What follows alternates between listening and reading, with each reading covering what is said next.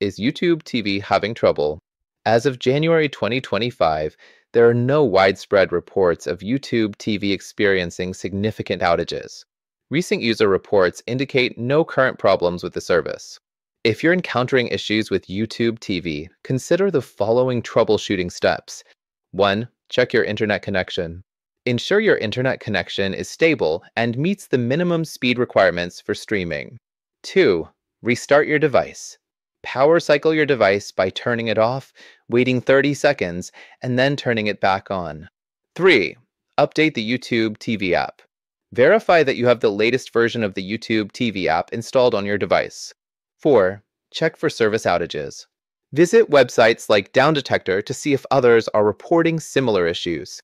5. Contact YouTube TV support. If problems persist, reach out to YouTube TV's support team for further assistance. These steps should help resolve most common issues with YouTube TV.